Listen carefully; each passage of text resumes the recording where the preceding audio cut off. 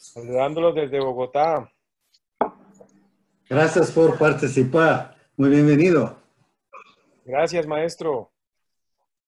Uh, pessoal, já estamos online, já estamos sendo gravados. Eu vou só desligar o telefone, o microfone de todos para não dar muita interferência. Agora. Paulo, você consegue falar e você consegue também uh, administrar tudo que você precisar. Estou um pouco no escuro. Espera lá um pouquinho.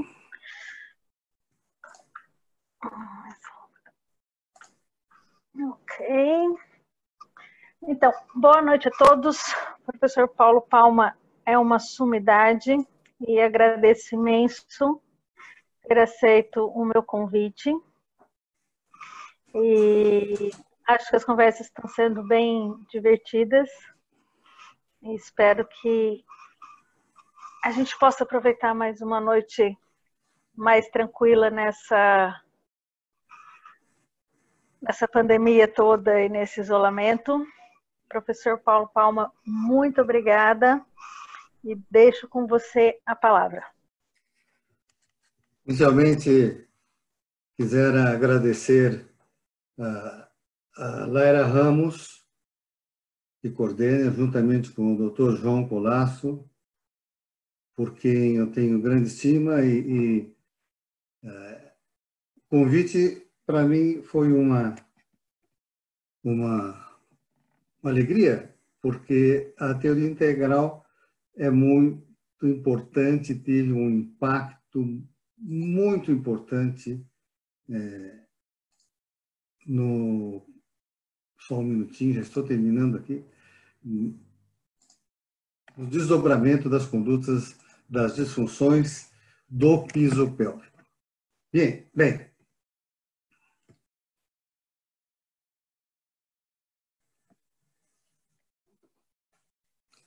alguma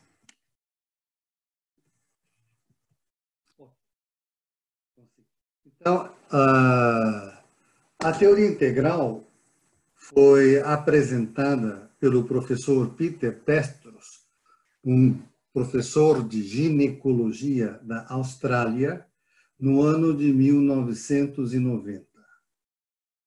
E foi muito importante porque a partir desses conceitos houve uma mudança de paradigma na maneira como nós entendemos e abordamos as disfunções do piso pélvico.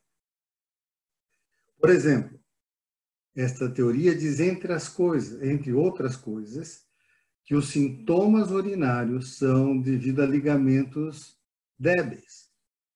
Portanto, prolapso de órgãos órgãos pélvicos a dor pélvica crônica, disfunções vesicais e intestinais são causadas principalmente pela debilidade dos ligamentos e por alteração da relação entre colágeno e elastina.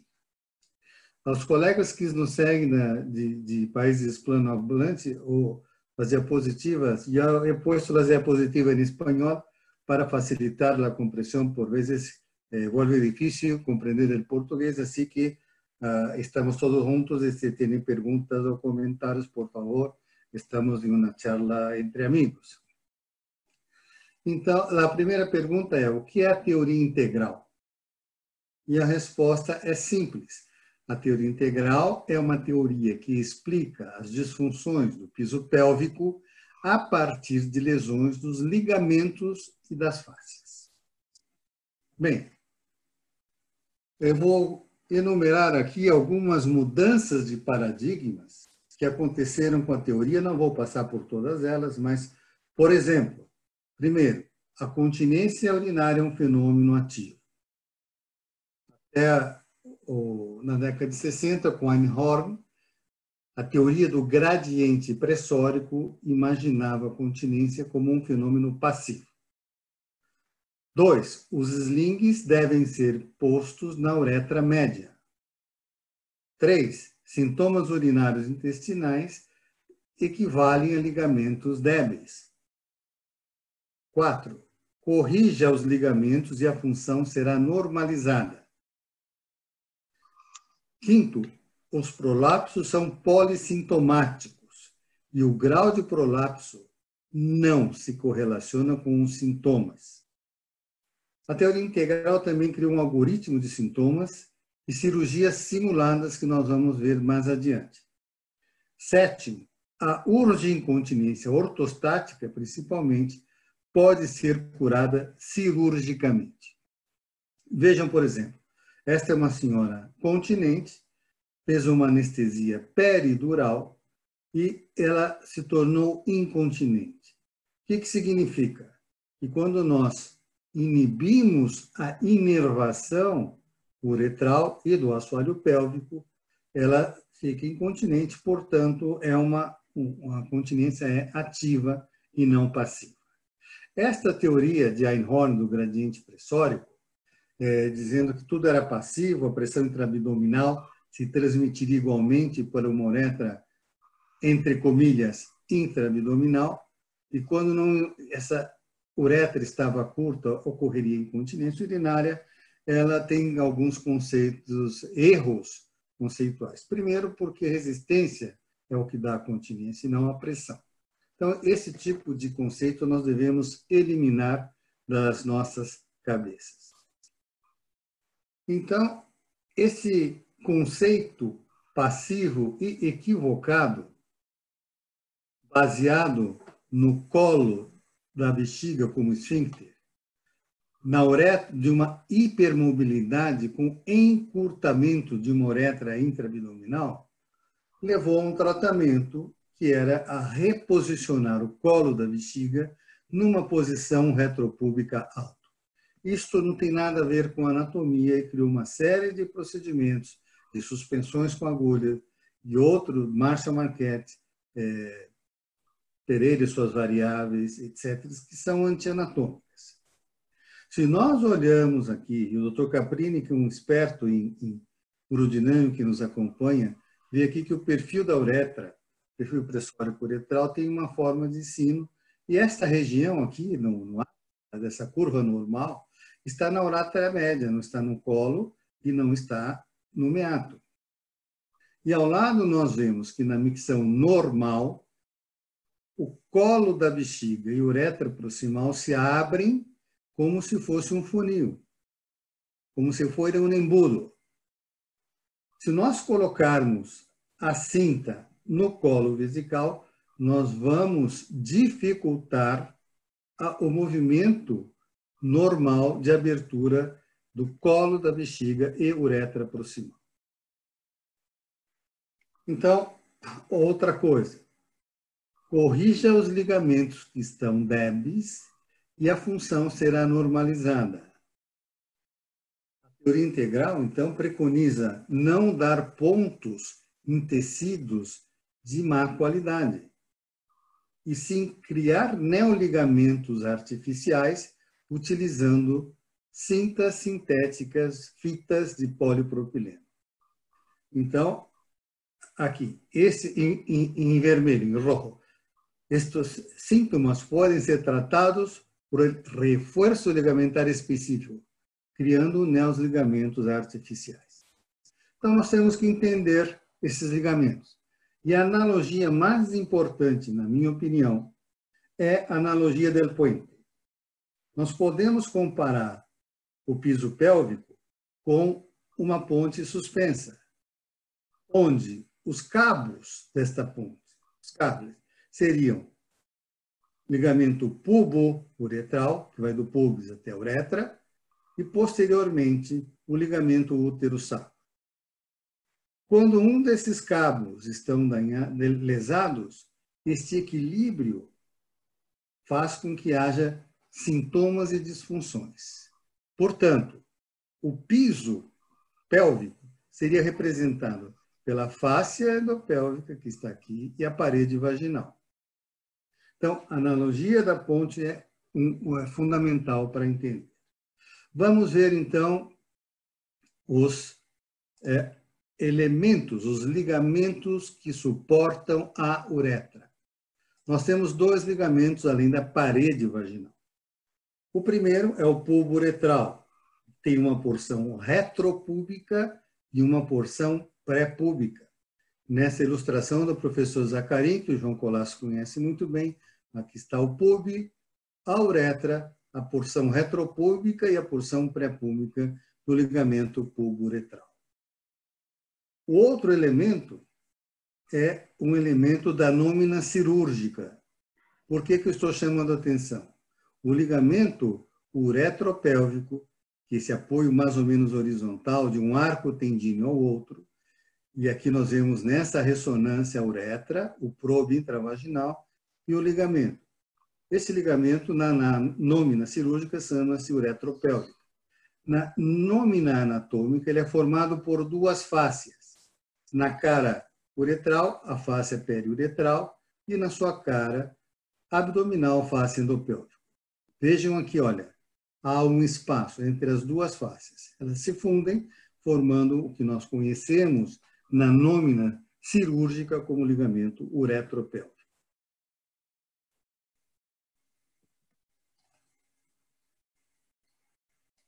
Bom, uh, seguindo.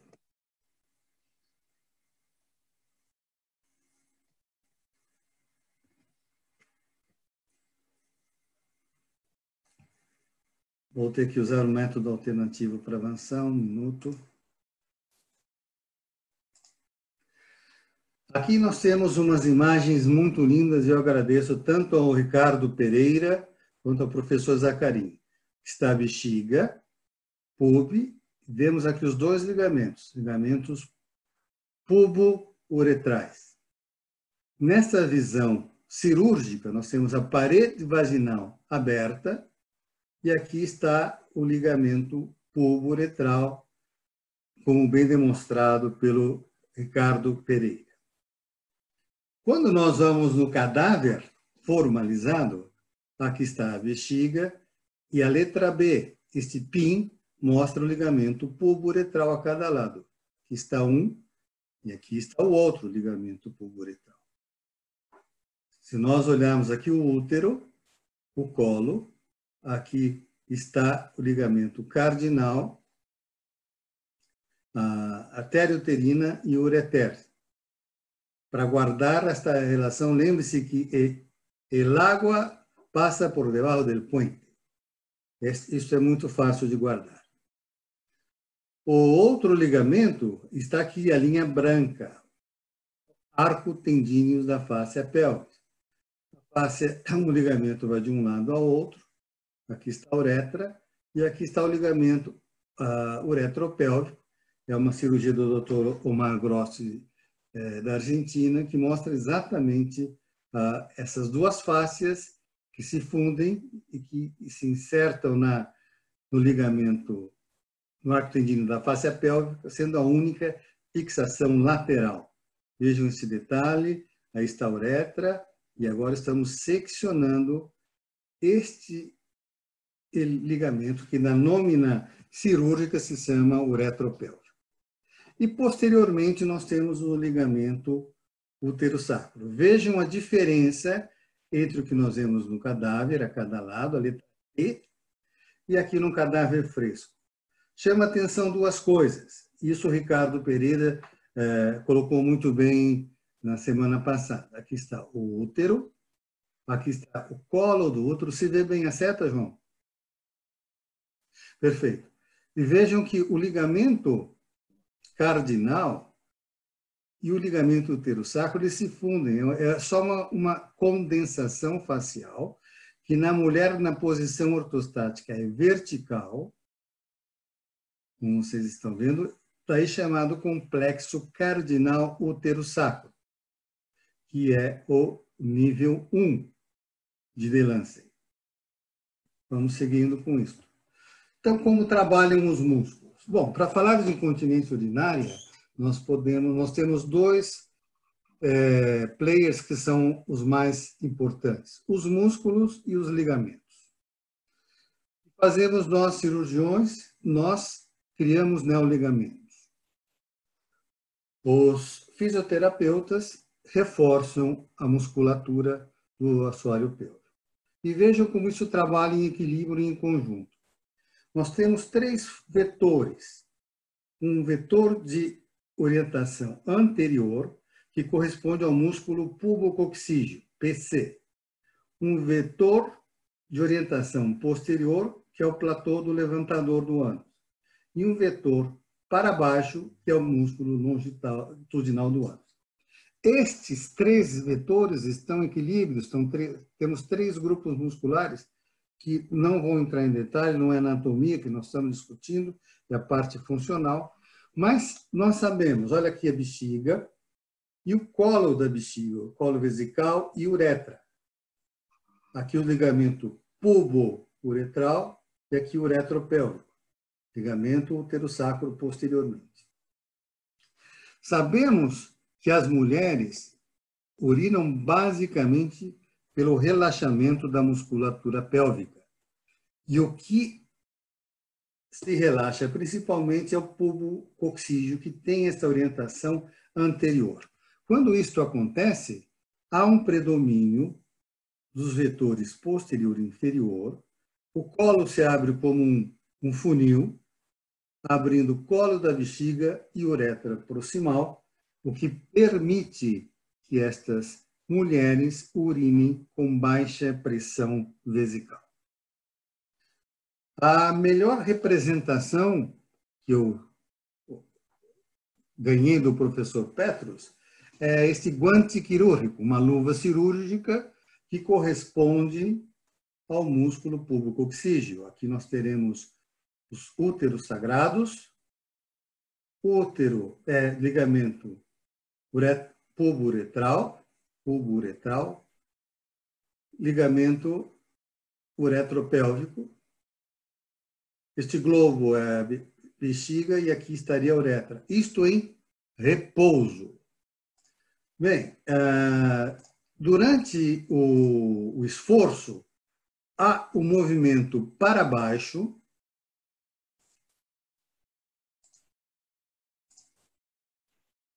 e o músculo pubococcígeo se contrai, resultando num vetor para frente, coaptando a uretra e causando a continência por coaptação uretral.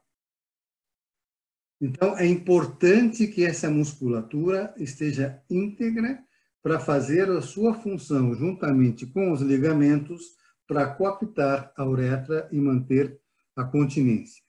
Já durante o repouso, o pubo coccídeo se relaxa, a, o colo vesical e uretra proximal se abrem como um funil e a micção se realiza a baixa pressão vesical. Então, aqui nós temos, resumidamente, a função miccional, a base da bexiga, N são os receptores de estiramento, localizados principalmente no trígono, os sinais uh, aferentes chegam até o núcleo pontino da micção, que está sob influência cortical. Se o momento é propício, a, a, a eferência le, leva a, ao relaxamento do músculo pubococcígeo e também a contração do detrusor, abrindo o colo vesical e uretra proximal, e assim ocorrendo a micção. Então, se nós precisamos de dois vetores, né, porque o anterior, pelo relaxamento, ele está inibido, predomínio posterior e inferior, o colo da bexiga se abre. É claro que se eu puser um sling aqui no colo vesical, ou se tivermos um prolapso, ou um cistocélio, um prolapso apical, os vetores resultantes serão vetores débeis, fracos. E com isso, o colo da bexiga e uretra proximal não se abrem, causando sintomas miccionais decorrentes dos prolapsos. Então, vamos estudar os ligamentos, como vamos num exame físico estudar esses ligamentos. Vamos primeiro avaliar o ligamento pubo-uretral aqui com o número 1, Estou apontando esse ligamento. nós vamos fazer cirurgias virtuais ou cirurgias simuladas. Essa senhora tosse e perde urina. Eu vou colocar uma pinça, não de baixo, mas do lado da uretra, simulando uma aplicatura do ligamento pubo-uretral e ela fica seca. Eu tiro a pinça e ela volta a perder urina. Eu repito a manobra do outro lado e ela continua seca. Portanto, essa senhora tem pelo menos um defeito do ligamento pubo-uretral. O próximo ligamento é a, a maca, ligamento uretropélvico. Vejam aqui, eu vou fazer uma aplicatura na, no nível da uretra média. Isso sem anestesia, não é doloroso. Ela tosse e não perde urina. Então, ela tem defeito tanto do bulbo uretral quanto do ligamento uretropélvico.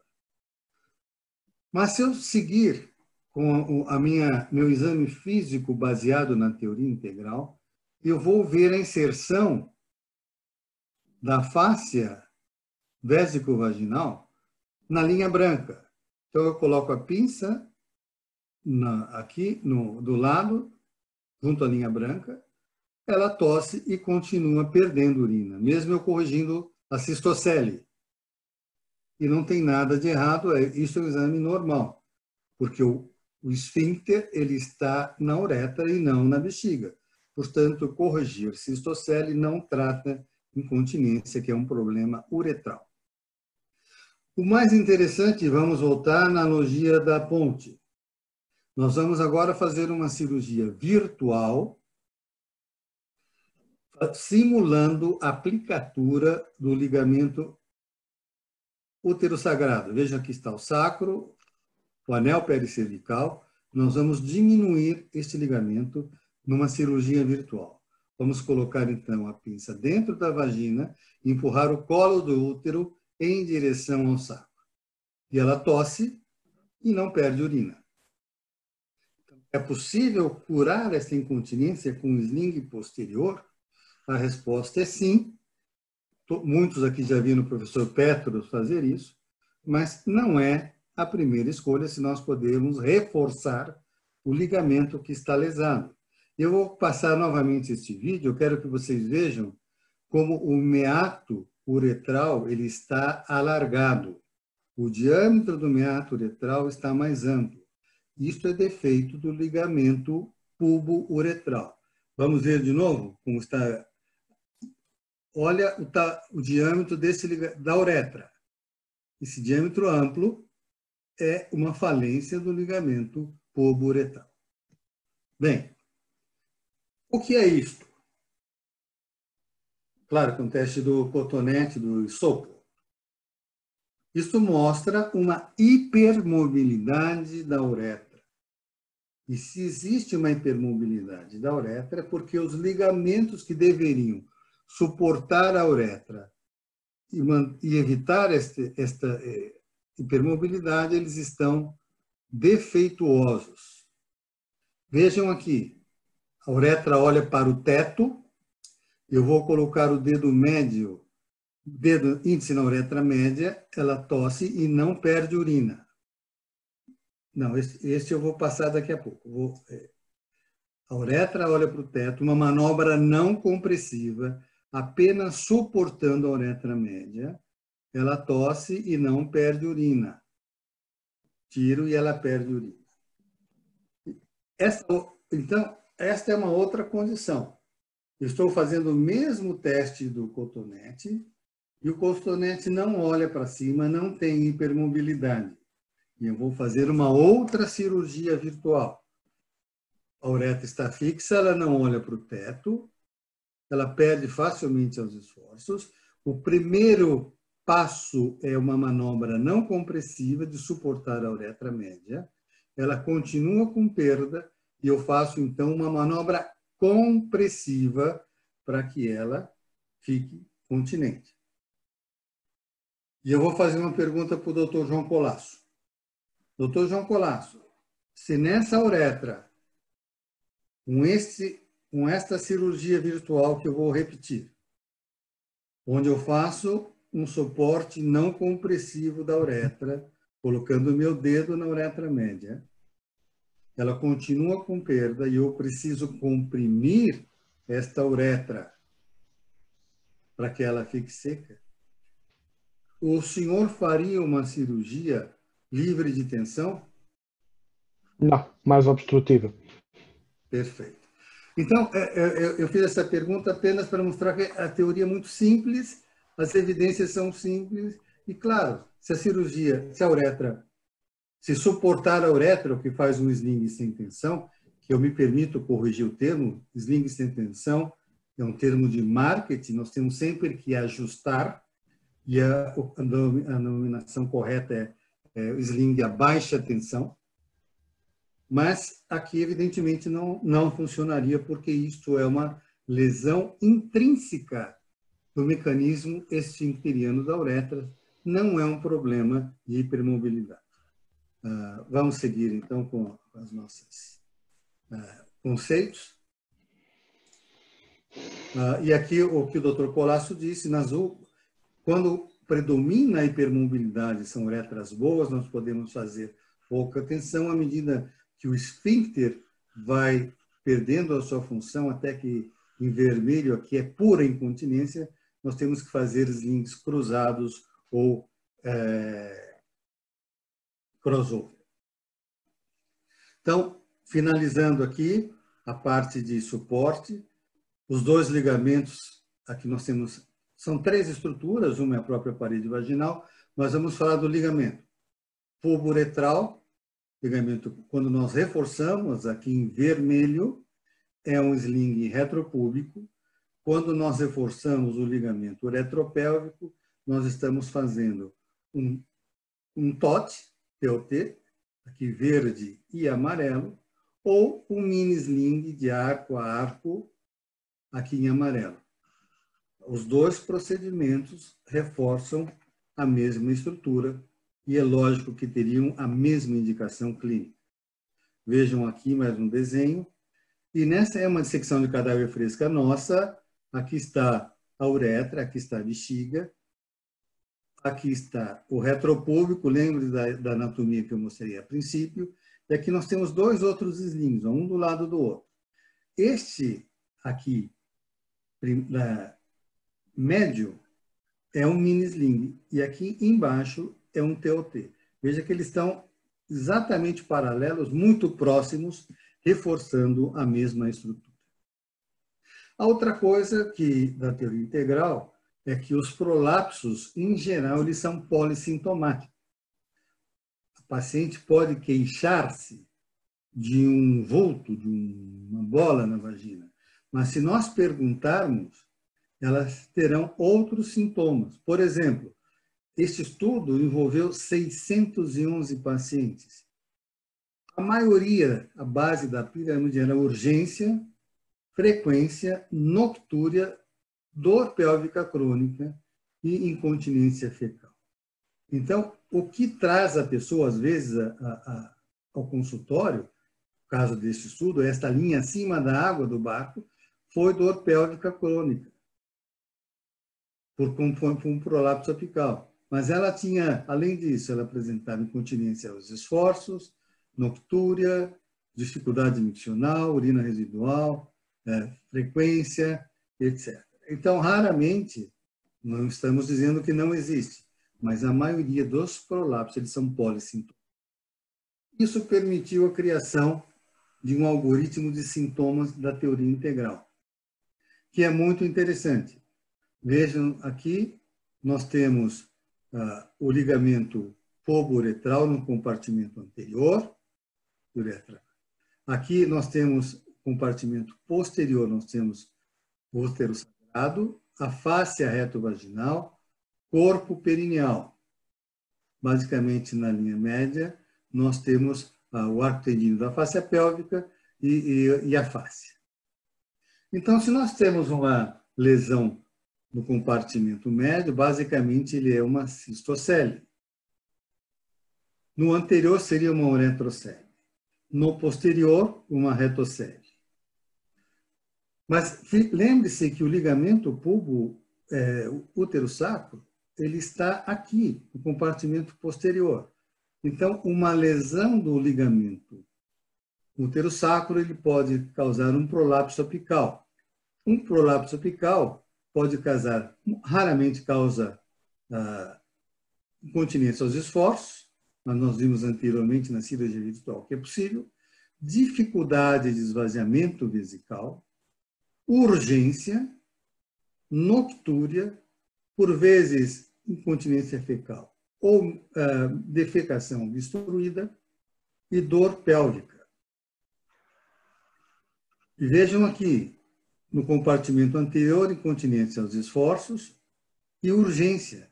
Só remetendo à discussão na semana passada, da, falando da bexiga hiperativa, que é uretrogênica, aquelas pacientes que têm incontinência mista, que metade delas ficam curadas da urgência somente com um sling na uretra média. Bem, aqui também no compartimento médio tem a síndrome da vagina é, fixa, que corresponde à incontinência do tipo 3 é, em outras teorias. Vamos seguir agora na bexiga hiperativa para encerrar os conceitos. Aqui está a definição, todos os senhores conhecem, eu não vou me ater a ela. Apenas alguns comentários. Quando nós fazemos uma avaliação urodinâmica numa paciente com bexiga hiperativa, numa paciente normal, a urodinâmica nos mostra que os fenômenos miccionais na bexiga hiperativa, também na hiperatividade do detrusor, são os mesmos na micção normal.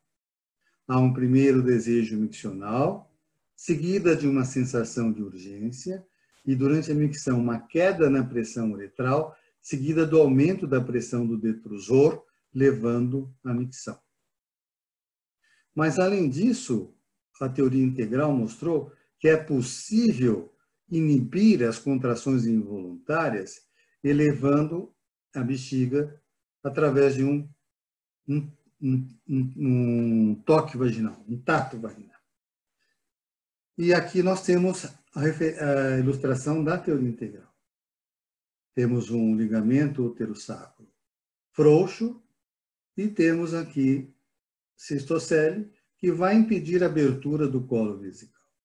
E esses receptores de estiramento, a letra N aqui, disparam a baixa, baixo volume. Se nós suportamos a uretra, nós podemos é, inibir esses sintomas. Trata-se de uma urodinâmica invasiva. Nós podemos fazer muitas manobras durante a urodinâmica, este é apenas um deles. Vejam isso. Doutora Branchos Monteiro tinha essa paciente. Vejam, e faz um toque e a perda vem depois do toque. Outra vez, fez um toque vaginal e depois do toque veio a perda. Bem, essa paciente ela apresentava incontinência urinária durante a atividade sexual.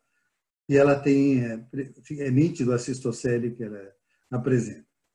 Então, como é eu, este, nesta paciente, o professor Petro estava juntamente fazendo o exame com o doutor Monteiro.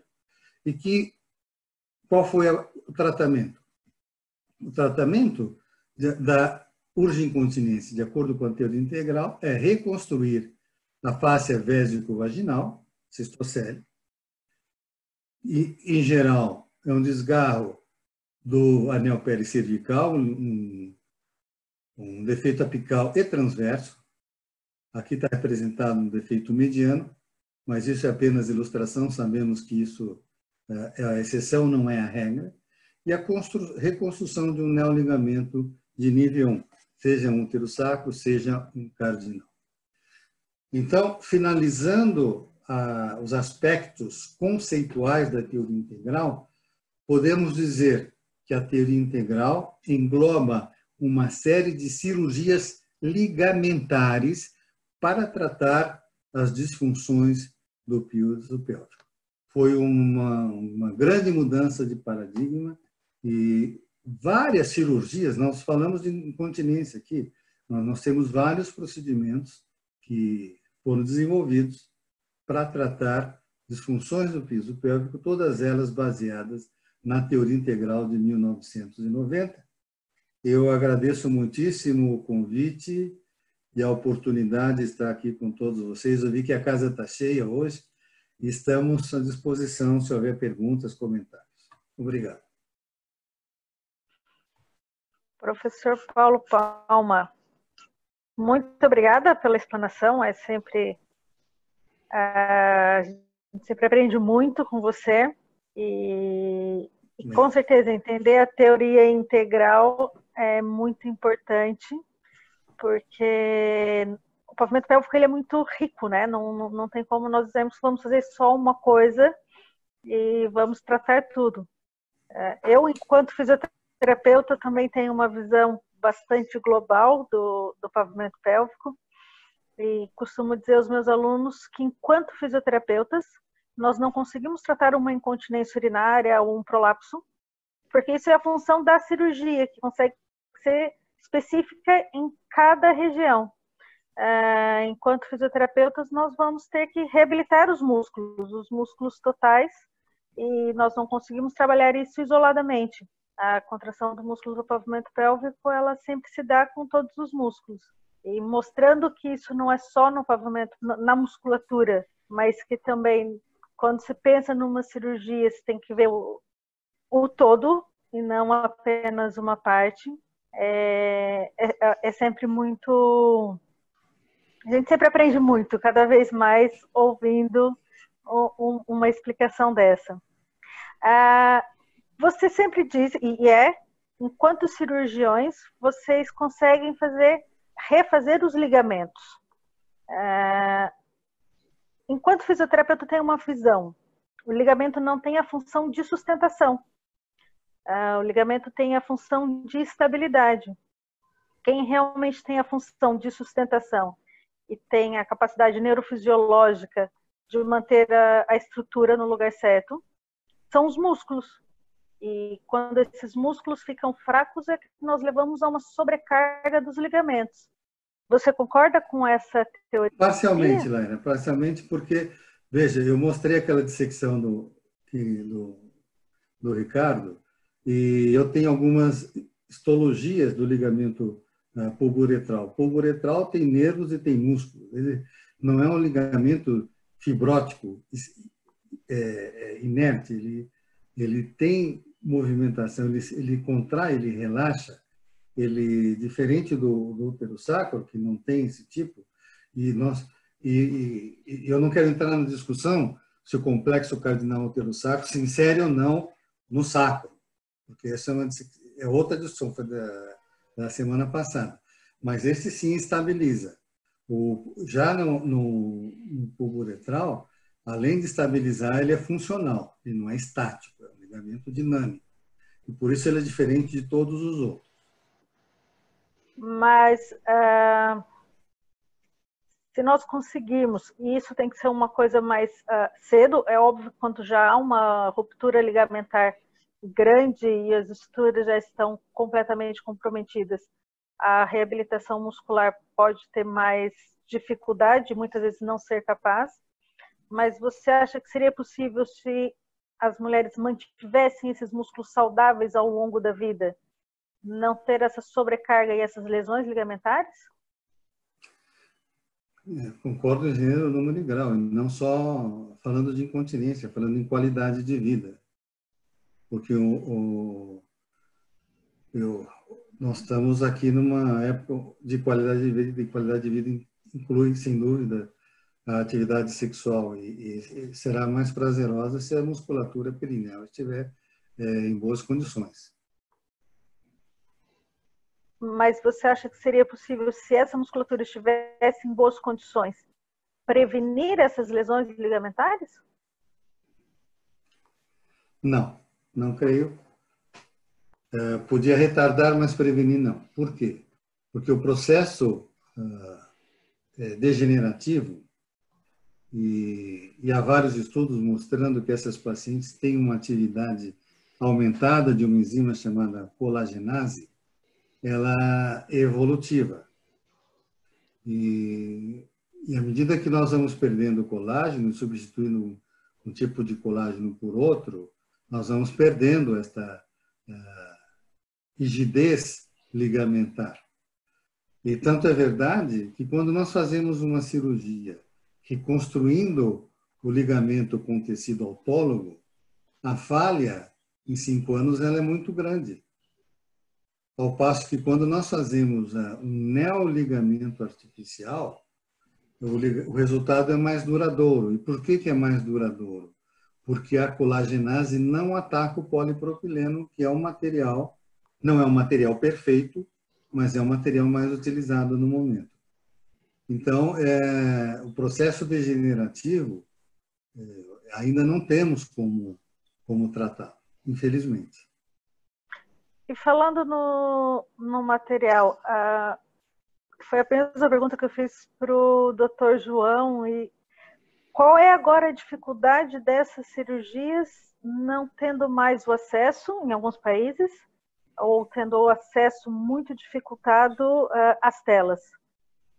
Como é que se dá a volta a isso? Como é que se resolve? Bom, a solução sempre está na iniciativa privada e na indústria. A indústria já está trabalhando em né, dispositivos que chamam Meshless Device, uh, que estará disponível muito breve, que são neoligamentos uh, sem tela, sem rede. Mas isso está uh, em fase 2, e mais do, tenho a impressão que deve resultar, porque já tem resultados há, há vários meses, portanto, o, é diferente de um tecido nativo que vai deteriorando com o passar do tempo. O material que não é absorvido, ele ficará lá por toda a vida. Agora, é um retrocesso. E mesmo países onde usam muito sling sintético, como a França, é, quem está no nosso grupo de discussão global, eles viram um artigo francês onde ah, deve ficar no mercado os slings que são facilmente implantados e que sejam passível de uma, de uma remoção total, caso necessário. Nós sabemos que é raro, mas há casos em que a é, remoção deve ser total.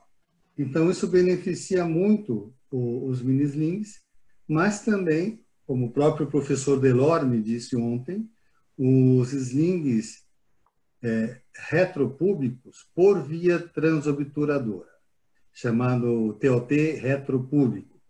E, de fato, é muito mais simples remover um TOT é, colocado por via retropúbica do que por via trans, é, perdão, retroesquiática, que é a tra técnica tradicional.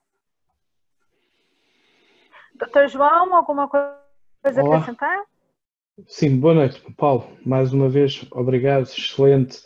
Um, se me permite, uh, eu tenho aqui, estou aqui gerenciando esta, este bate-papo, este bate-papo aqui. Vou falando bem tranquilo, porque temos aqui a plateia Latino-América. Um abraço para todos, desse lado do grande, do grande lago.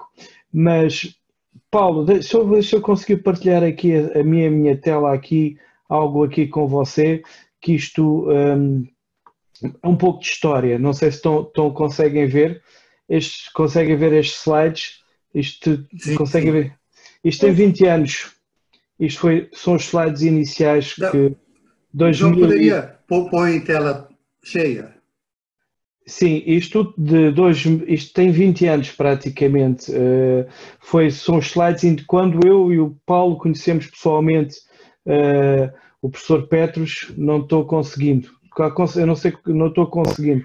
Uh, e isto é os princípios da cirurgia de, de, de todos os, os, princípios que nortearam a cirurgia de, de, os princípios que derivaram de cirúrgicos derivaram da teoria integral da continência.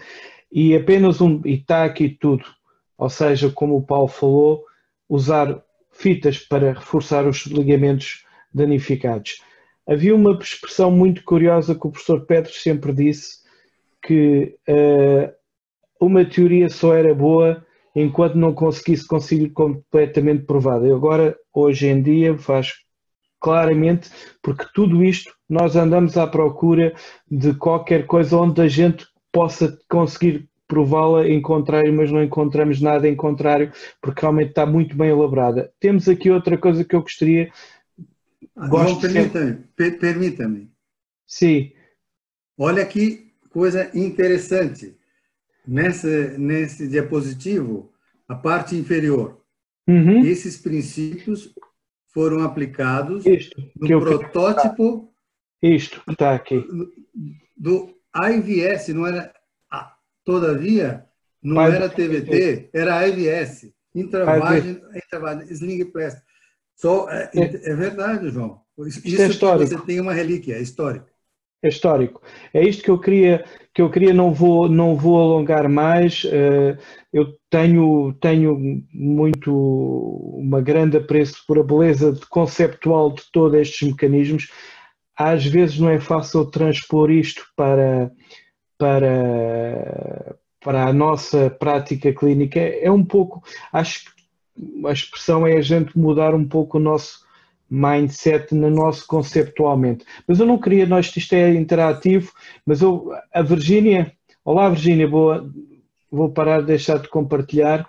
Uh, não sei, Lara, podes-me ajudar? Como é que eu saio daqui? Queres tomar tu o assento? Uh, você quer não, não, partilhar mais a tela? Uh, isso. No é, mesmo okay. botão que você clicou para partilhar. Já está. É, você okay. clica aqui na parte. Okay. Já está, agora está. Pronto. Tá. Virgínia, a Virgínia queria pôr uma pergunta, não sei, ela foi das primeiras a lançar. Virgínia, está aí ainda? Ah, pera lá, deixa eu só ver o microfone que ela está pedindo. E depois havia uma outra. Boa noite. Boa noite. Boa noite, Virginia. Boa noite, estão me escutando? Perfeito. Sim. Olá. É...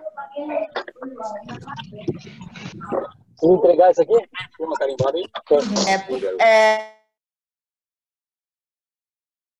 Virginia, nós paramos de te ouvir, mas você consegue você mesma ativar o seu microfone. Ok, muito obrigada, ah, ótimo, consegui. Ótimo. É, doutor Palma, parabéns pela apresentação, é sempre um prazer te escutar. Cada vez que eu escuto falando teoria integral, eu aprendo alguma coisa. Eu tenho uma dúvida. Quando a gente fala da, do sling posterior, uh, o senhor falou que o sling posterior ele pode ser uma opção na correção da incontinência urinária de esforço. E a gente vê também que a lesão do, do ligamento uterosacro, a paciente pode ter sintomas de urgência. Então, a gente pode é, pensar que essa urgência que a paciente tem, ela é uretrogênica da mesma forma? Ou a gente poderia também corrigir essa urgência fazendo a correção do, do ligamento uterosacro? Obrigada. Obrigado, Virginia. Uh... Essa é uma pergunta tão bonita, Virginia, que eu tenho que responder em duas partes. A primeira parte, é, você estava conosco quando o professor Petros corrigiu uma incontinência urinária ao, esforço, fazendo um IVS posterior, ou seja, um sling posterior. Então, a pergunta é, pode ser sim. Mas se é uretrogênica, também nós colocamos, fazemos um sling e, é, em pacientes com incontinência urinária mista e 50% delas vai ficar curada da urgência. O que acontece quando nós temos uma incontinência uh, mista ou uma urgência uretrogênica e quando nós vemos o, aquele diagrama da, de, da urgência quando nós fazemos a, a, a perdão, a, o... Correção do útero sacro? Não, não. Nós fazemos a tipagem de cada urgência, a origem de cada urgência. Fenotipa, fenotipagem. Fenotipagem, obrigado. Quando nós fazemos a fenotipagem da urgência, e nós temos, por exemplo, que a urgência da da síndrome metabólica não vai, só vai responder é, basicamente a tadalafila, nenhum anticolinérgico, nenhum beta-3. E quando nós chegamos na uretrogênica, nós temos ali que o sling cura, mas cura metade delas. E a outra metade, e aí eu vou voltar à teoria integral e à analogia da ponte. Se nós fazemos uh, uma, tem uma incontinência urinária mista, fazemos o sling, ela fica curada da incontinência, mas permanece a urgência, aí sim nós estamos autorizados a fazer um sling posterior ou que seja um, um um, uh, o doutor Jäger da Alemanha tem um procedimento dele que é o Vaza e César, e, enfim, cada um tem seu sling, mas o conceito é o mesmo. Você corrige um cabo da ponte, se o cabo é, não corrigiu todo o sintoma, você corrige o cabo do outro lado. Então, esse é o conceito da teoria integral. Em termos numéricos, o que é que o, o Sebastian e o Wolfram nos apresentam? Apresentam 50% de cura só com o sling, mais 20% com o sling posterior, que dá 70% de, de cura. E eu não conheço nada com resultados tão espetaculares quanto isso. Obrigada, parabéns. Viu? Que... Obrigado, Virginia. Mas alguém tem alguma pergunta? Vocês conseguem desbloquear o microfone de vocês se quiserem.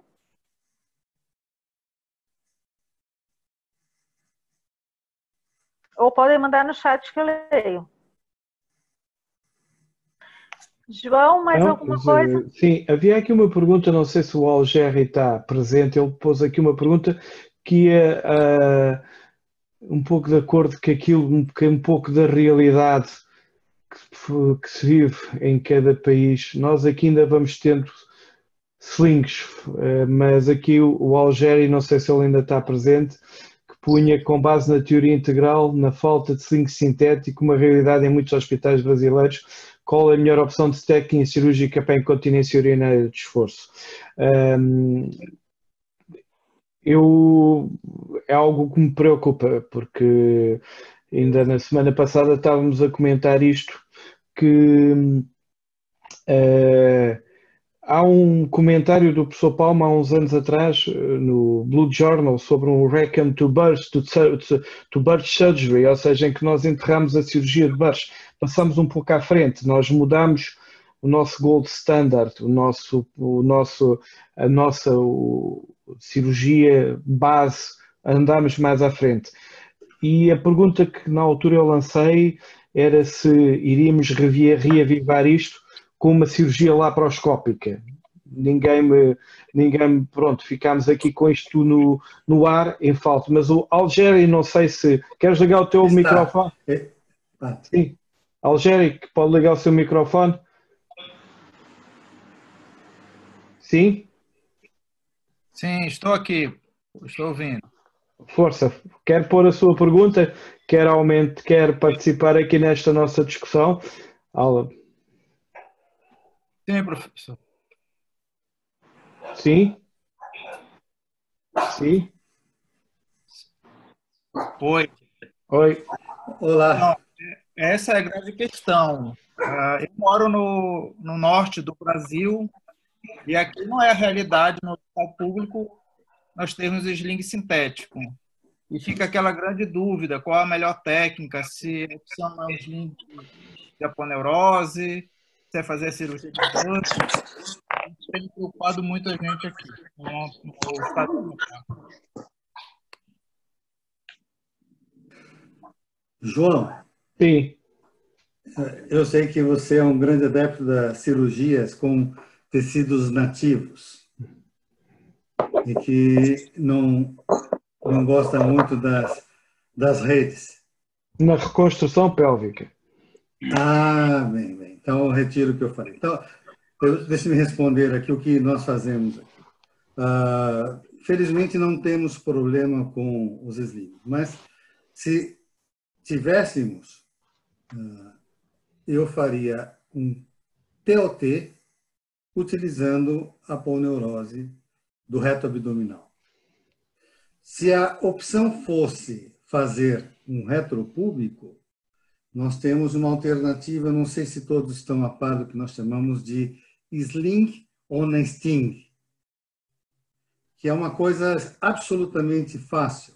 Nós pegamos uma pequenina porção da aponeurose, mais ou menos 4 eh, centímetros de, de comprimento por um centímetro, centímetro e meio de largura, fazemos uma sutura chuleada a cada lado e com uma agulha do tipo Stamen, e isso imagino que todos os serviços ainda têm uma velha agulha de Stamen, ou de Hason, ou Pereira, o nome que queiram dar, e fazemos um sling retropúbico, um, um mínimo pedaço. Uh, esta foi a solução que eles encontraram. Isso não é uma coisa brasileira, é uma coisa uh, da Grã-Bretanha. No Reino Unido, eles acharam essa alternativa. É como se fosse um mini sling autólogo, porque ah, muitos cirurgiões se recusam a fazer o burst, seja lá por que via, assistida por robô, laparoscópica, porque não encontram uma fisiopatologia que suporte a criação de um ligamento que a mãe natureza não criou. E nós sabemos dessa que nem sempre vai tão bem como nós gostaríamos que fosse. Então, é, é esse Sling on Sting, o grande, isso está no European Journal, e, e vale a pena dar uma olhada, porque eu diria é muito fácil, é muito fácil. É uma a incisão que se faz na região suprapúbica é, praticamente não deixa nem cicatriz, porque depois crescem os pelos públicos e cobrem uma pequena incisão. Uma alteira é muito simples e os resultados são resultados de qualquer sling retropúblico. Posso fazer uma pergunta, João? Vontade. Caldel Roy, tudo bom? Tudo bem, você? Tranquilo. Professor, é um prazer escutar. Mas eu, assim, eu estou otimista com relação a permanência das telas no nosso meio. Acho que a pandemia vai nos ajudar, porque ela vai tirar o foco um pouco, para nós principalmente, até que se dê conta que aqui no Brasil as telas, de forma geral, são classificadas como classe 2 pela Anvisa. E a classe 1 são os objetos que tocam a pele, não são os que ficam. Então, até que isso seja reclassificado, eu acho que vai levar muito tempo e a gente vai ter muita experiência. O que eu imagino é que, só se eu tiver muito errado, tudo que aprendi com você, esses praticamente 20 anos que a gente faz sling retro, retro público, a taxa de complicação que a gente tem aqui no Brasil é mínima. Hoje, na minha prática, eu só faço retropúbico e o mini sling nos pacientes que eu faço reconstrução pélvica. Eu, eu não tenho feito mais o transobturatório por conta da dor e tal. E eu não tenho complicação, eu tenho um serviço que faz aí quase que 100 cirurgias por ano, e são os residentes que operam, a gente não tem complicação. O meu medo de fazer o, o sling que você acabou de citar, você ter os mesmos problemas que você tinha com as alterações do fluxo urinário quando você tinha um sling de aponeurose. Porque a tela tem um grau de maleabilidade que o, o tecido não tem. E um tecido aponeurótico, ele também está sobre a mesma ação da metaloproteinase. Então a gente vai demorar o que nós ganhamos aí 20 anos, como o João apresentou, é, não com o IVS, porque ele foi totalmente abandonado, porque ele era ruim mesmo, mas a via é excelente. Então, assim, eu estou muito tranquilo e sempre lembro das suas palavras que o FDA não é a polícia do mundo, né? Como o senhor sempre me ensinou. Então, eu estou bastante otimista quando eu vejo publicações da Escandinávia, nórdica, reforçando que as telas ainda vão permanecer essa, essa proibição é do eixo anglo-saxão, né, que é Inglaterra, Austrália, e mesmo na, na, no Reino, na Inglaterra você tem autorização para fazer o TVT, se você, o, transobito, o retropúblico, perdão. Agora, não sei como é que pensa o resto do mundo. Eu não sei, eu estou bastante otimista. Eu acho que a pandemia vai nos ajudar, porque vai dar tempo deles esquecerem da gente. Roy, obrigado. É, é, eu não tinha pensado nisso ainda, mas faz muito sentido. A, a, verdade é que eu conheço bem o seu serviço. É claro que os seus, seus residentes operam, mas operam sob sua supervisão e, e por, o mesmo da Virgínia. E, e então o nível de complicação é baixíssimo, porque é, é menos de 0,5, incluindo menos de 1%, incluindo todas as complicações, todas. Então, nenhuma técnica cirúrgica tem uma complicação tão baixa.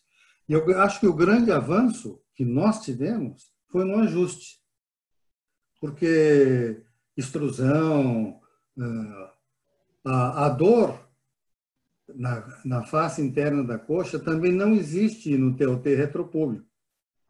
E, e nós aprendemos um ajuste melhor. Então, nós não temos grandes é, disfunções miccionais nem com o retropúblico, em função do ajuste. Ah, o sling ou nesting ele é posto na uretra média, mas eu tenho a mesma preocupação que você bem expressou aqui. Quanto tempo vai durar esse material que vai sofrer, que vai ser transformado em, em self, mesmo que fosse heterólogo, e vai sofrer as alterações da metaloprotease? Nós não temos essa resposta. Então, eu acho que nós não vamos ter esse esse problema porque a gente só precisava se organizar na América Latina e você tem o maior palco disso que é a LAP de começar a ter espaço para a gente publicar isso porque exposição de retropúblico eu não vejo há muitos anos retenção a gente trata imediato é, esse tanto de dor pélvica eu não consigo, não, não tenho. Realmente não tenho isso. E eu vou pedir, se me permite, Derrame, para que outras pessoas participem claro. E, e, falem. É importante você vir a público e dizer, olha, nossas complicações são mínimas. Porque todo mundo, nós vamos aos eventos e, e, e, é, e vemos coisas horríveis sendo mostradas. E eu nunca vi essas coisas horríveis. Então, como você também está dizendo isso, porque outras e quem tem coisa horrível fala, olha, eu tenho coisa horrível, por isso que eu não uso, porque nós estamos aqui discutindo entre amigos e não tem, eu não vejo. A Virgínia acabou de falar a opinião dela, mas acho que outras pessoas podem participar aqui e, e dar opinião. Quem sabe tem complicações que a gente não. Depois eu vou perguntar para o João a, a experiência dele, mas vamos deixar ele para o final.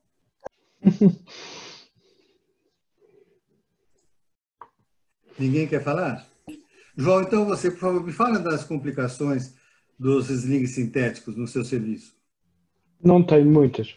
Não tenho. Tenho algumas obstruções, algumas retenções, mas resolvo na hora. E algumas delas, quando tenho alguma dificuldade, e algumas partilhei consigo também, peço, é muito simples, não tenho há muitos anos, como o Delroy dizia, não tenho tido complicações uh, graves. A parte disso, a doente mais antiga que eu tenho, se posso falar para ser operada, tem um Safir T. O Safir T foi colocado em 2003. Até hoje está continente. Zero perdas, satisfeitíssima da vida, sem extrusão e sem rejeição de material. E você lembra que no início nós tivemos algumas pessoas não reagiam bem àquelas hastes silicone que o Safir T tinha e não era de todo tranquilo, mas é, é interessante porque o Del há pouco falou do IVS. O IVS, como eu é foi um pouco o pai do, do, do TVT, o precursor. A rede do IVS não era de todo a, a mais uh, simpática. Por outro lado, uh, a sua vida, todo o conceito foi o primórdio, historicamente, de, deste tipo de cirurgias. Um, apenas um complemento àquilo que, que e eu volto ainda um pouco àquilo que falei na semana passada. Uh, todo este conceito, e eu assumo, e o Paulo sabe disso, que eu sou um cirurgião de tecidos nativos na reconstrução pélvica. Não uso redes para a reconstrução pélvica praticamente, muito pouco usei, não tenho, tenho bons resultados na minha opinião, uh, mas acho que um, todo o sucesso disto tudo tem a ver com, em primeiro lugar, como a gente discute a expectativa da cirurgia com os pacientes, explicar o que é que nós pretendemos atingir, não muitas vezes a cura atómica, anatómica, mas às vezes alguma cura de, de sintomas. E acho que o mais importante é assim que nós conseguimos também aferir este tipo de resultados. Ainda há que, voltando à questão das redes e das telas, claro que não é para qualquer um, mas isto, o que está aqui errado foi o conceito que foi vendido. Ah, como alguém dizia, uh, uma cirurgia simples, fácil e facilmente reprodutível, como foi vendida a colocação de telas, tanto por vias transobturatórias, que não era, uh, sendo como só one step, ou seja, só com um passo muito simples e fácil de utilizar. E isso nós sabemos que, por mais simples que as cirurgias sejam, existe um treinamento e claramente qualquer um de nós estamos aqui nesta fórum aqui, podemos fazer um sling em uma cirurgia de correção da incontinência urinária até em menos de 15 minutos, mas uh, temos, como se diz cá em, como se diz cá no meu país, temos uh, é muito é muito anos é muito anos a, é muito ano a virar frango na churrasqueira não é? Por isso sabemos o que é que por isso. Sim Isso é muito tempo isso a fazer isso, mas acho que sim. É, e eu estava aqui com um bocadinho de dificuldade em partilhar aqui o meu ecrã, mas eu estava aqui a ver, porque estava espreitando estes slides e voltando só ainda ao tema que nos estás aqui reunidos, é a teoria integral da continência, um, e eu partilhando aqui um dos últimos slides foi o, e que realmente isto foi há 20 anos atrás e tendo uma atualidade extrema e isto voltava ainda aqui porque o professor Petros na altura quando, quando falou disto e não sei se a Lara está, está, está ainda em linha, mas... Estou só ouvindo. Ok, isto era o slide quando eu, ao fim disto, isto são, são praticamente 300 slides, mas tem muito, muito PowerPoint, muito efeito de animação e tudo. Mas isto, isto, ele escreveu isto em 2000, basicamente. Isto depois de ter já 10 anos antes vinha debatendo, fazendo, como se diz, agora agarrando o tempo pascal, andou, andou fazendo este tempo todo, apesar de tudo, infelizmente ainda, ainda tem muito caminho das pedras por fazer, ainda tem muita cruz para carregar em algumas coisas. E, mas eu gostaria de lançar só este desafio aqui, quando ele acaba, quando diz temos que fortalecer as estruturas por, não, por métodos não cirúrgicos. E aí voltamos àquilo que eu te falei outro dia, uh, cada vez mais a fisioterapia pode nos ajudar nisto no pré e no pós-operatório. Queres comentar? Eu sou uma defensora nata da fisioterapia, quem conhece meu trabalho sabe, e acho que sim, e acho que a fisioterapia deve sempre estar a trabalhar junto com, com a medicina, Uhum. Isto a propósito que o professor Petros, na última edição do último, do, da terceira edição de, de, do livro dele, tem lá um, um, capítulo com várias páginas dedicado só, em que ele tem uma grande, um grande ênfase todo, esta, todo este conceito que o professor Paulo aqui falou do, do, desta teoria integral, com aplicações muito práticas e muito concretas à, à, à, à fisioterapia do pavimento pélvico que muito provavelmente aquilo nós se calhar já você, tu já fazes e é apenas se calhar ou temos aqui uma nova visão, uma nova, uma nova maneira de pensar como eu dizia no, nesta introdução destes slides todos que ele tinha aqui. Eh, e ele começava como é o mais importante no meio disto tudo que é a New Way of Thinking. Eh, quando ele publicou isto já em 1900, isto foi em 1994, quando, se não me engano, pôs aqui neste jornal de, até muito engraçado, que é um jornal muito da nefrologia, muito interessante. Uh, em relação à fisioterapia, eu acho que uh, somos ainda jovens na, na área da uroginecologia, temos muito ainda que estudar e que desenvolver mais, estamos crescendo cada vez mais. O Dr. Paulo tem bastante contato com grandes fisioterapeutas e vê que estamos a cada vez mais estudar e tentar desenvolver melhores trabalhos. Uh, ainda é um tratamento, acho que pela falta de divulgação e por imaginar que os resultados são muito demorados, e hoje já conseguimos resultados com, com meses de tratamento, não é mais preciso fazer três, quatro meses, em um mês a paciente já vem uma grande melhora. E, e acho mais que a, a grande a ponto dessa conversa é quando entrar, pode-se entrar a fisioterapia, quando a fisioterapia vai ser útil para a paciente e quando a cirurgia é mais útil, e ainda não temos essa resposta. Uh, que paciente que deveria ir para fisioterapia, que paciente que eh, ia se beneficiar mais com a cirurgia. Eu ainda acho, discordando um pouco do Dr. Paulo Palma, que a fisioterapia ajuda muito a prevenir as, as disfunções ligamentares.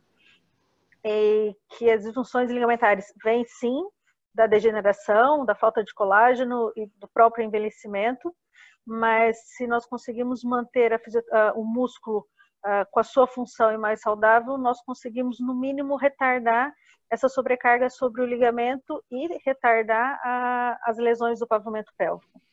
Mas o problema da fisioterapia é que não basta fazer a fisioterapia. As pacientes têm que continuar fazendo os exercícios, porque já é provado que seis semanas sem fazer os exercícios, a musculatura já começa a perder os ganhos com os exercícios.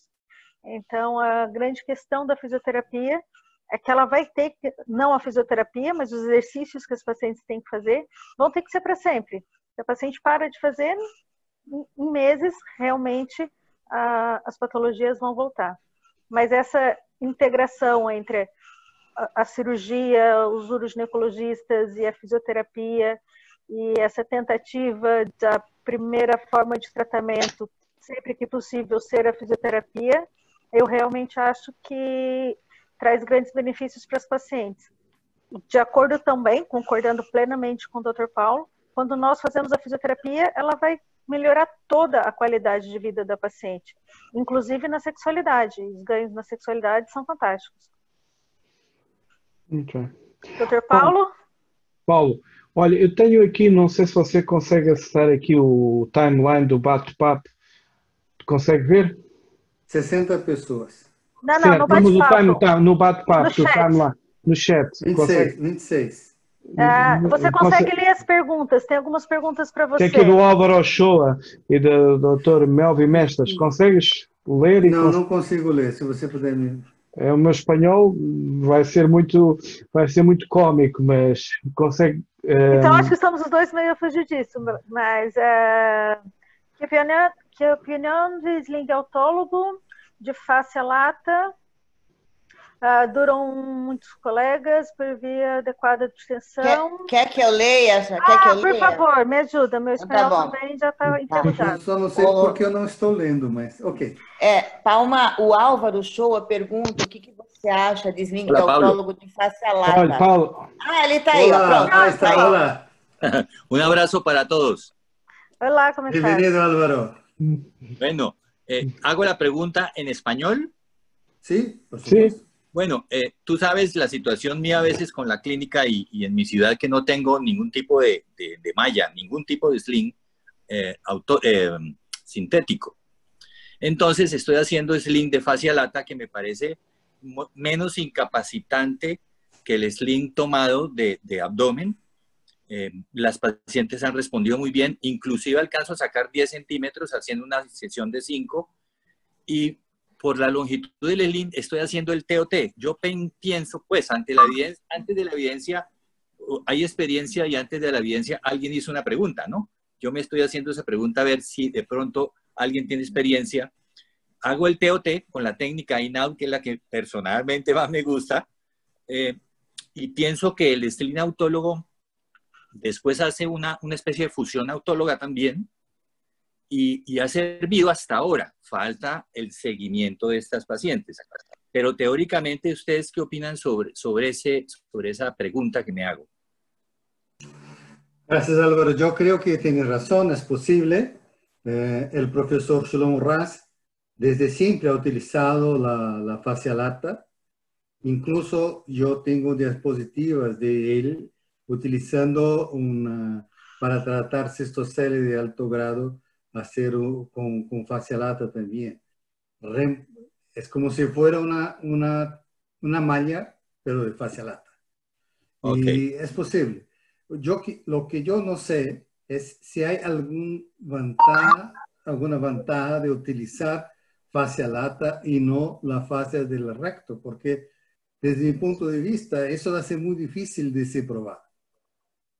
Superioridad. Yo creo que son iguales. Son iguales. Ok.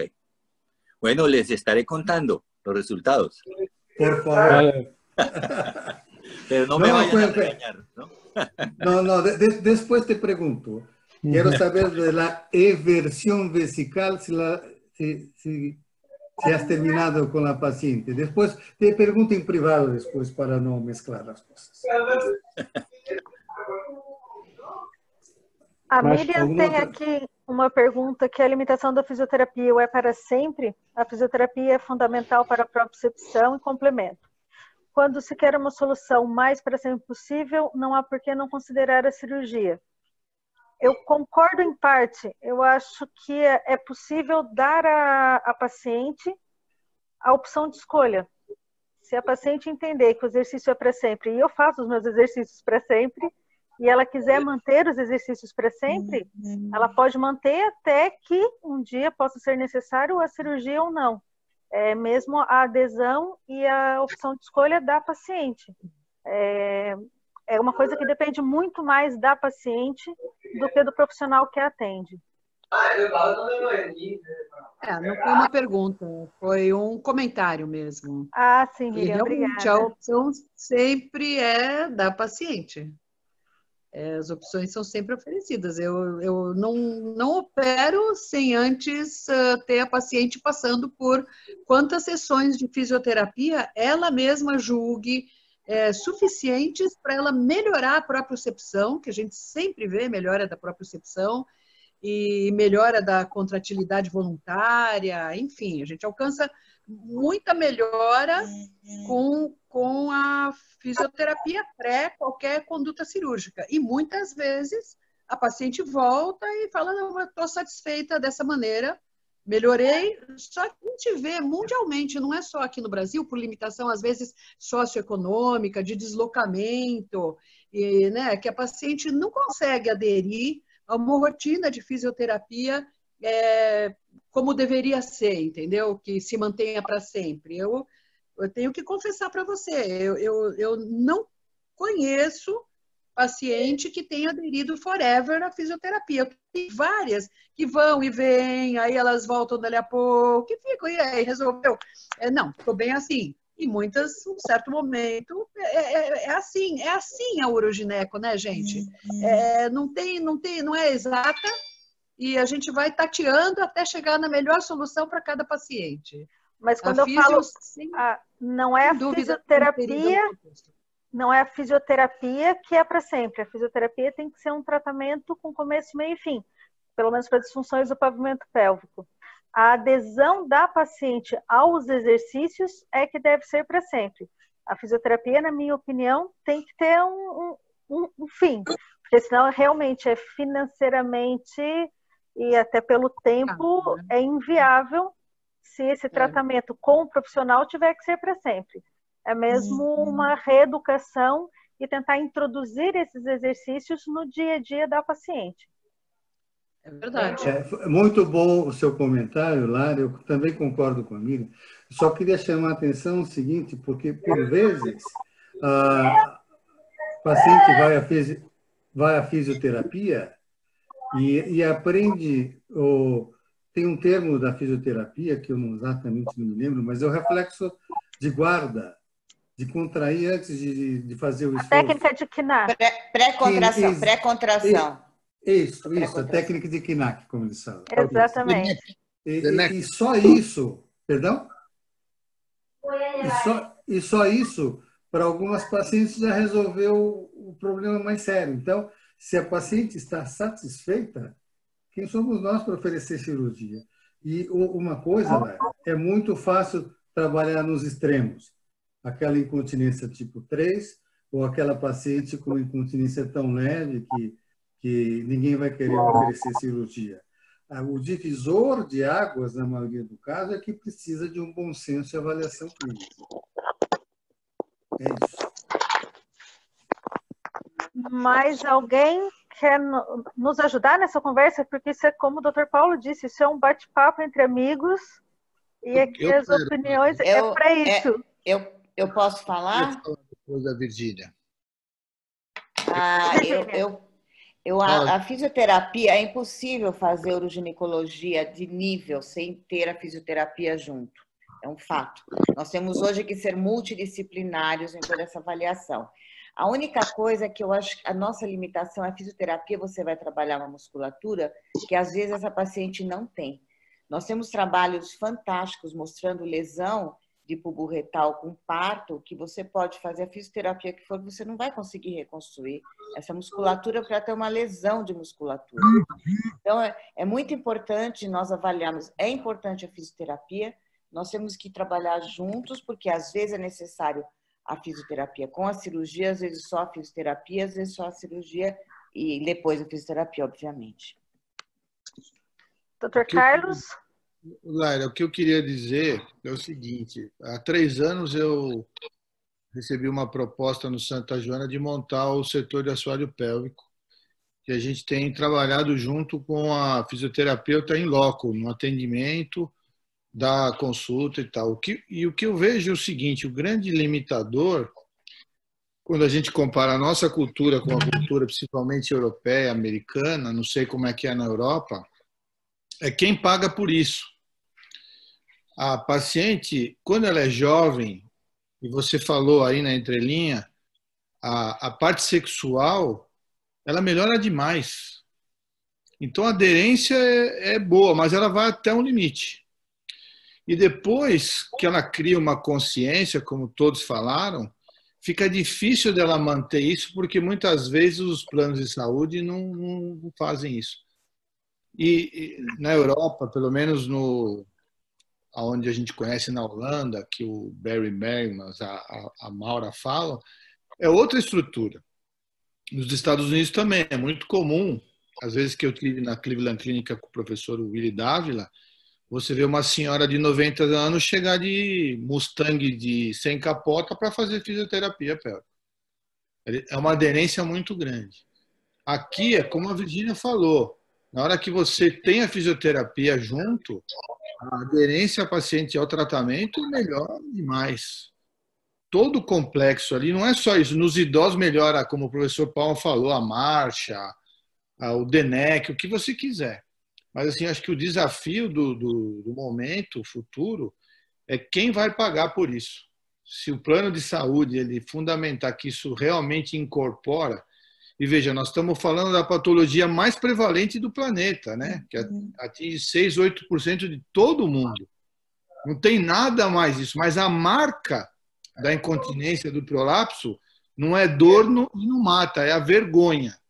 E isso é um grande problema. A endometriose, ela é dor. O câncer mata.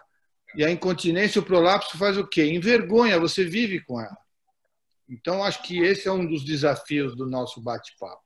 É abrir essa situação aí, como acho que a LAP foi muito feliz quando trouxe todas as fisioterapeutas para a gente.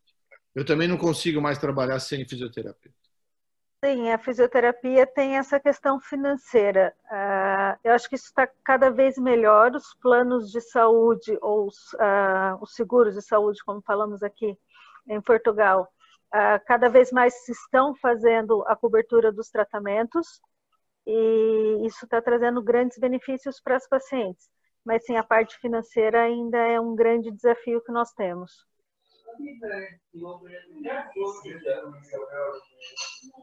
Eh, nos Estados Unidos, se você complementando o que o Delroy falou, é bem verdade. Lá é, se paga qualquer coisa para não colocar paciente dentro do hospital para uma cirurgia, porque é tão mais caro que, que o que ela puder fazer ambulatorial, né, vai ser, vai ser estimulado. Então, tem esse viés também, né?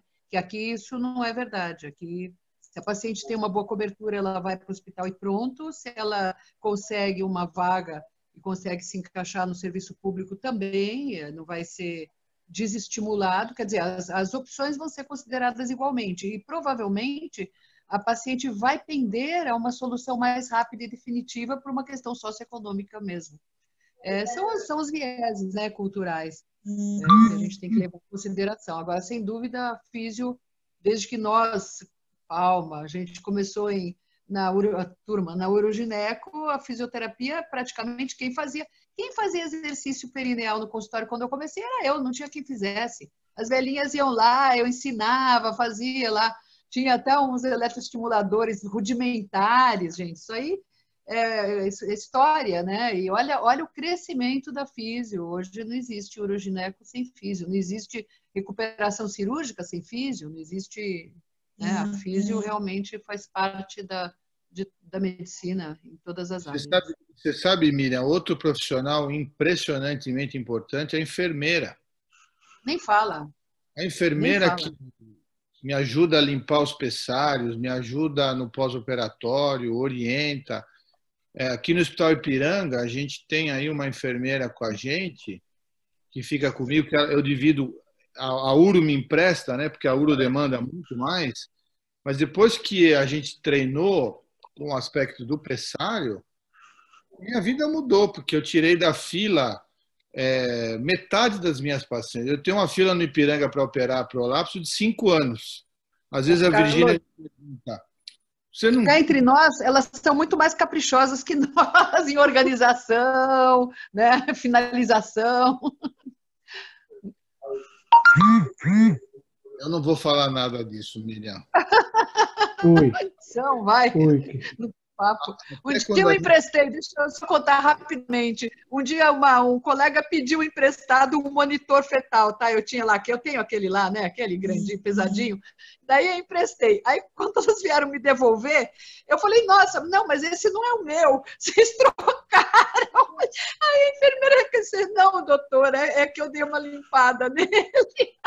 Nos fios, os fios estavam, tinham mudado de cor, você entendeu? Aquele fio que leva o transdutor, né, para o abdômen da paciente. Eu achei que não era meu. Então é isso aí. A enfermagem mas, é caprichar mais o entendimento multidisciplinar da, da uroginecologia, acho que realmente o professor Paulo, um dos decanos disso no Brasil, ensinou toda a gente a respeitar as fisioterapeutas e as enfermeiras, né, professor? Eu acho que foi bacana quando, sei lá, 20 anos atrás conheci, mudou a minha vida completamente, o entendimento disso. E depois na Escola Paulista, quando eu fui fazer meu, meu doutorado, eu vi que isso já existia lá há muito, né? Tem um grupo grande de formação disso. Então, acho que é, tem que... Ah, os números, eu, obrigado pela deferência, Adelmar, mas os números falam, as sociedades que estão crescendo hoje são as multidisciplinares, porque as sociedades de especialidade elas atingem um platô e param aí. E as, e as sociedades multidisciplinares, elas se, seguem crescendo por quê? Primeiro, porque são inclusivas. E segundo, porque nós sempre temos que aprender. Eu aprendi muito proctologia na LAP, muito. E, e é ótimo. Eu vou dar boa noite aqui para o doutor Ricardo Pereira, que acaba de entrar. Um pouquinho atrasado. Urgência. Ricardo, falamos do, do, do, do complexo cardinal útero sacro. Uh, mas nós não estávamos discutindo a anatomia, mas só para introduzindo o conceito de que esse não é um ligamento que vai ao sacro, sequer é um ligamento, mas que suporta as estruturas. Então, aos poucos nós vamos falando o mesmo idioma. É, maneira de, talvez, de de, de entender ou definir. O suporte existe, mas talvez seja um entendimento. Acho que na sexta-feira a gente pode mostrar, demonstrar um pouco melhor. Você vai voltar a falar disso? Na sexta, né? Porque a gente vai falar de é, correção laparoscópica dos prolapsos, e aí a gente vai poder ver a anatomia, ver se nas dissecções se esse ligamento existe mesmo, né? É uma visão laparoscópica, é diferente da visão vaginal, é uma visão Não, é ótimo, porque o vídeo que você enviou semana passada na discussão, e tem muita gente aqui que não participou, eu não consegui abrir o vídeo. Ah, o vídeo está lindo. Já, já vi e realmente as imagens estão lindas. Eu vou te mandar, eu vou te mandar. Uh, lembrar que é um vídeo tem mais de 10 anos e que é aquela conversa que a gente tem a discussão que nós estávamos tendo. Eu acho. Obrigado por, por me enviar, mas eu vou pedir para a Laira é, de compartilhar nesse grupo de novo, porque muita gente não viu. Eu consigo. Eu, apresento... eu consigo colocar aqui no bate-papo agora e todo mundo ter acesso a ele. Mas eu já vou colocar. Depois, até porque esse vídeo. Não, na sexta-feira nós vamos ter isso ao vivo. Eu vou, Mas vou atualizar pudermos... ele. Eu vou atualizar é. ele, porque esse é um vídeo há mais de 10 anos. E é a Mas... concepção que eu disse, que eu acho que precisa uma mudança para anatomia retoperitoneal, laparoscópica, para entendimento das distopias. Além disso, associado a um maior aprofundamento, entendimento da neuropelviologia. Se você juntar o conhecimento da vaginal com a visão laparoscópica anatômica e a neuropelviologia voltada para esse aspecto, não para a questão de, de, de paralisia, de, de, de medular, não nesse sentido, mas do entendimento da função autônoma, eu acho que isso vai ajudar muito a dar um impulso na questão da, da, da, da, da urogineco, dos prolapsos. É uma visão. Eu fiz isso há mais de 10 anos. Como eu te falei, às vezes é uma, uma questão um pouco é, diferente e as pessoas às vezes rechaçam. A maioria acham algo muito, muito, muito estranho, mas é, eu acho que é super atual. É, tem que ser modificado aqueles vídeos, algumas coisinhas. E eu, na sexta-feira a gente pode falar sobre isso. É, a minha sugestão, a minha sugestão foi compartilhar o vídeo antes. Nós vemos o vídeo e depois voltamos a discutir o vídeo, porque de entrar direto na discussão, uh, uh, talvez não, não, vamos aproveitar tanto como se a gente tiver um organizador prévio para poder discutir com você. A Laila consegue passar para o grupo? Consigo passar, sim. Eu consigo colocar aqui os dois, os dois links, sim. Isso. Eu consigo. Ricardo, eu concordo com você, viu, Ricardo? Estou com você. Aliás, hoje tem um, um vídeo do Mark Possover no Instagram dele. Não sei se você chegou a ver.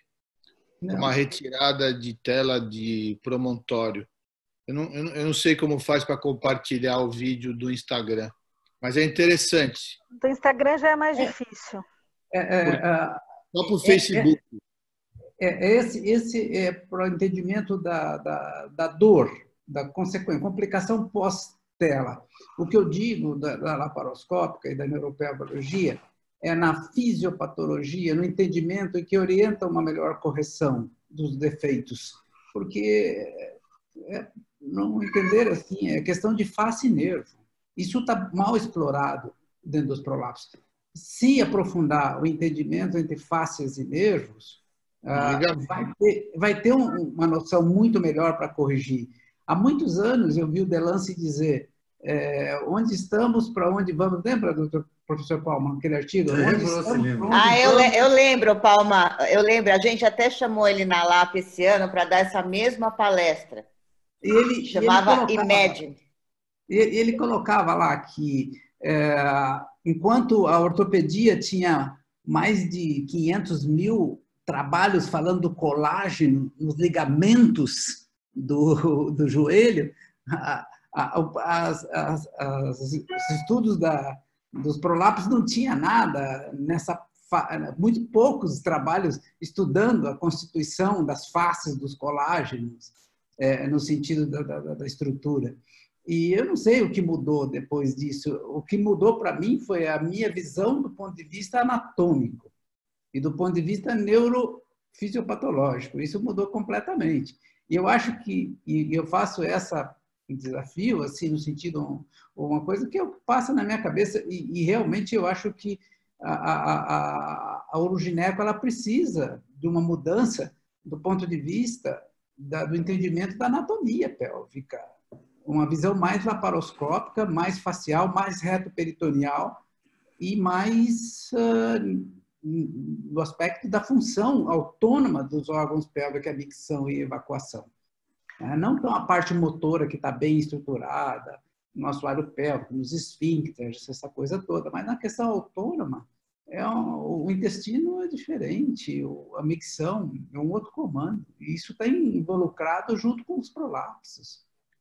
Se vocês, se vocês olharem no chat, tem os dois links das duas cirurgias e vocês conseguem ter acesso. Na cirurgia, dos dois vídeos, né? duas... Dos dois vídeos, desculpa, os dois vídeos.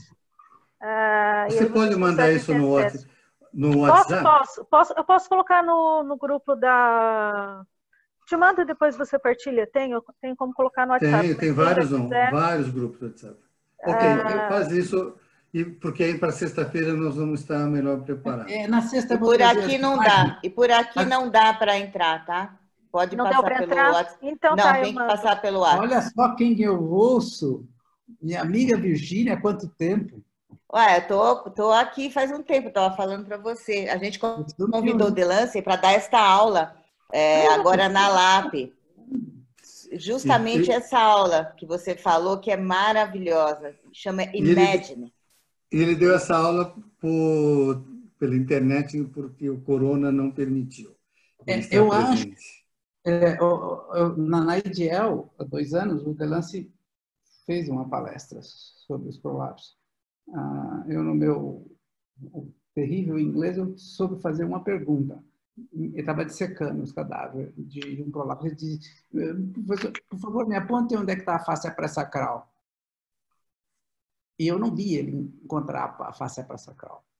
E, para mim, a pré-sacral é a grande estrutura do, do assoalho pélvico. Está me ouvindo? Lógico. Ah, então, a, a, a visão que ele tem é vaginal, é cadáver e é radiológica, principalmente nos últimos anos a radiologia. Ele não tem a visão laparoscópica, assim como o Petros também não tem. É uma, é uma visão diferente. Uh, e também não falam muito nada ou quase nada da função autônoma nervosa da pelve dos órgãos. Muito pouco. Então, acho que a gente pode aprofundar um pouco mais nessa, nessa parte. É o que nós vamos fazer na sexta-feira, viu? Obrigado vou pelo Vou preparar umas coisas interessantes, vou trazer as imagens. Não, faça-se que... Eu acho que é uma coisa interessante. Depois de Belo Horizonte, que eu vi a sua aula, eu também mudei muita coisa e acho que todo mundo aqui tem, tem, tem muita sede de, dessas informações. Uh, Lara, uh, você tinha me dito que nós teríamos uma hora e trinta e nós passamos. Eu, eu, estou à vontade, mas você foi você e o João que determinaram uh, o time. Se quiserem continuar, eu estou aqui, não vou sair de casa porque o eu acho. Desculpa, eu queria, estava doido para assistir e, e, e, eu tive duas situações que eu tive que, que, que vir eu estou no consultório, coisa que eu não vinha há um mês. E, e enfim, é, é, eu acabei perdendo. Ok. Bom, Leira. Sim? Estou? Mais alguma pergunta? E a gente encerrávamos aqui esta reunião. Só deixa eu falar uma coisinha, João. Sim. Amanhã eu. teremos o Dr. Rui Viana falando de cirurgia robótica. Depois teremos o doutor Otacílio Figueiredo falando de cirurgias vaginal. E depois teremos de novo o doutor Ricardo falando da. Fáscias, nervos e prolapsos. E, e temos bastante tempo para conversar e passar esse tempo maravilhoso que está sempre ultrapassando o tempo, mas acho que ninguém tem nenhum lugar para ir, então estamos por aqui aproveitando. E não só é isso, Mayra, as discussões as discussões têm sido Têm sido ótimas, têm sido ótimas e cada vez melhor. Estamos Vamos aqui. deixar para torturar o Ricardo na sexta, então, né? Vamos. Olha, os meus, meus residentes Na sexta todos você vem estão preparado, hein, assistindo. Batinho, que eu vou te torturar, hein? Ô, Delroy, o- a atividade dessa semana dos meus residentes é assistir todas as aulas e depois a gente vai fazer discussão. Então, eles estão aproveitando de uma forma fantástica. Obrigado vocês ainda por isso, tá? Por me ajudar com eles agora nessa fase de Covid. Deixa eu falar, várias pessoas, várias pessoas perguntaram, as aulas estão sendo todas gravadas, eu ainda não tive tempo de disponibilizá-las, porque eu estou tendo curso online também, e essa minha. ah, o meu isolamento não está sendo tão, tão calmo quanto de todo mundo, mas brevemente eu disponibilizo as aulas gravadas da semana passada, as aulas dessa semana. Para semana que vem também estou vendo qual vai ser a programação e tem bastante coisa boa para ver. Então, não se preocupem que brevemente vocês terão todas as aulas gravadas. Doutor Obrigada. Palma, mais uma vez, muito obrigada. É sempre um grande prazer estar consigo e poder discutir, poder aprender. A todos os demais que colaboraram ricamente com essa discussão, agradeço. Hoje temos aqui muitas pessoas muito boas. e É, é muito, muito gratificante para mim ter todos aqui. Doutor João? Obrigado. Boa noite. Boa noite, João. Noite. Boa noite, amigos. Pode Boa convidar, noite a todos. Pode falar, doutor Carlos, desculpa. pode convidar os residentes? Pode convidar Sim. todos, o link é aberto, o link é aberto, pode convidar todos. Não, é, é um É prazer conver- pra gente. é conversa mais de tiverem, sofá. melhor. Literalmente. Conversa de sofá. Gostei, João. Conversa de sofá. Ok? Cachorro Ok. Boa noite, um abraço Boa a cada noite. um. Boa Boa noite. noite a todos, até amanhã. Até amanhã. Beijos, tchau. Tchau, Vi. Beijos. Adeus. Tchau, tchau, Nu, tchau. Boa noite.